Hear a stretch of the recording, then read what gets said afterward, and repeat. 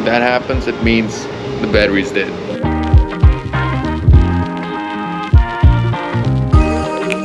So the battery of my bike died. Um, it was running fine, man. It was cold and rainy, but now it died. So look at this.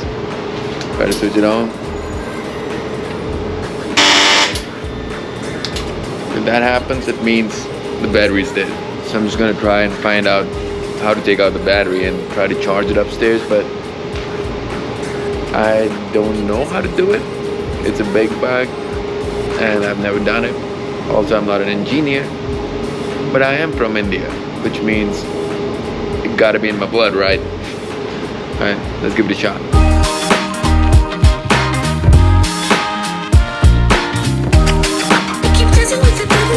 The first thing I'm gonna do is try to remove uh, the seat because I was reading a lot of forums uh, online and just got to know like if you have to assist the battery. Found it's on the right side and also it's it can only be taken out before I remove the seat so I'm just gonna try to do that first. It's also shitty because it's not a private garage, it's my building's garage so like there are multiple different cars here too.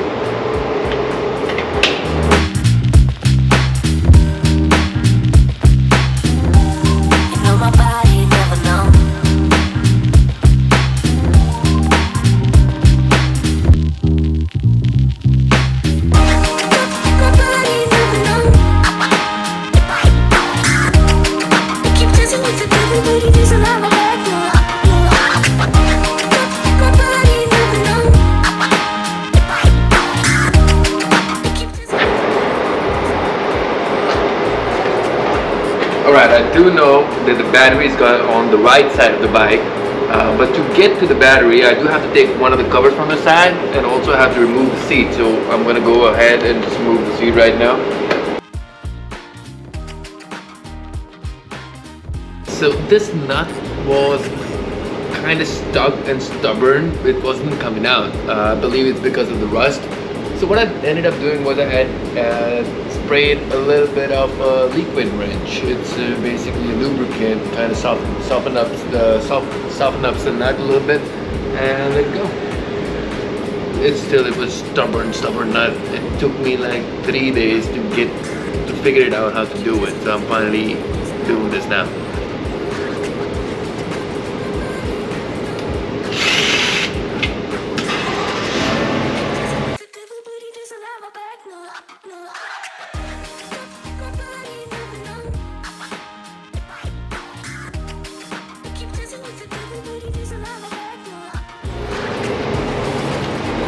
Uh, for this guy here, it was very stubborn too, so I had to lubricate this guy and get it out uh, the same way with the liquid wrench. Like so, it kind of soften soften up the nut a little bit, and you spray it and you leave it for around about 30 minutes, and then you take it out. You, uh, what I did before taking out as well, it was my dad's advice. I just like took a screwdriver and a hammer and I tapped it from the side to kind of loosen loosen it a little bit.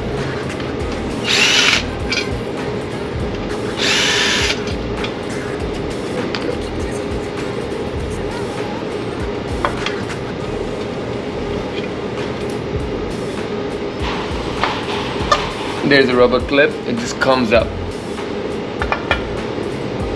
So right here I don't know if you can see not is a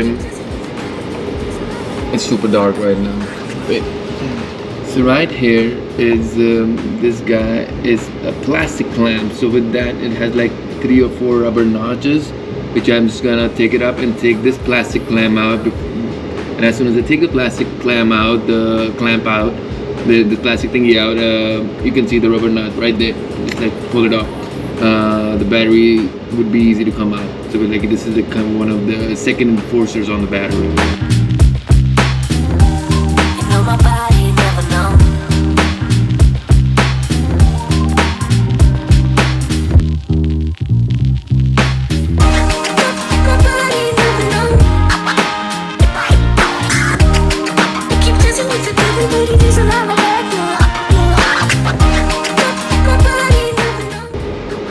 One of the clamps is right inside over there. I can't get my hands, so I'm just gonna drive with a screwdriver.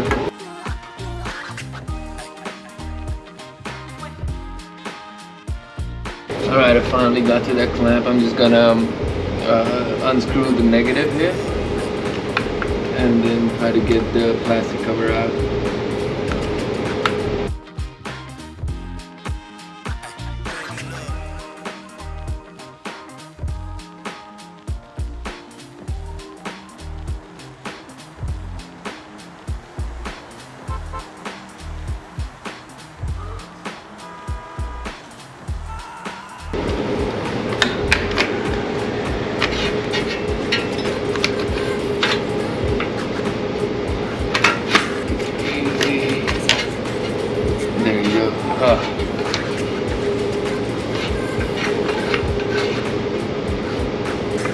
Know if you can see it now. There's the battery. I'm gonna unscrew the um, positive on the other side and it should be good to go. and charge it upstairs.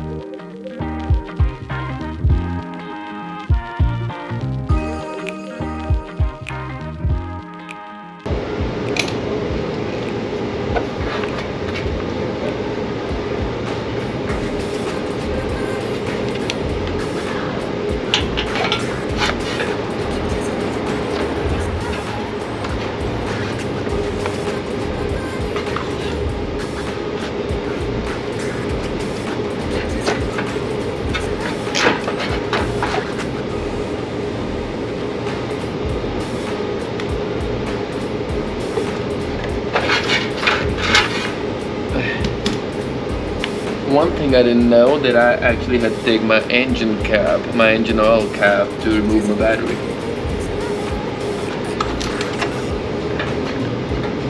Look at this. It's moved. Now let's fucking charge it. I'm just gonna leave uh, all the stuff here, screw it back, not completely put it back, just still have to charge the back batteries. Just screw it back so that nothing gets stolen in.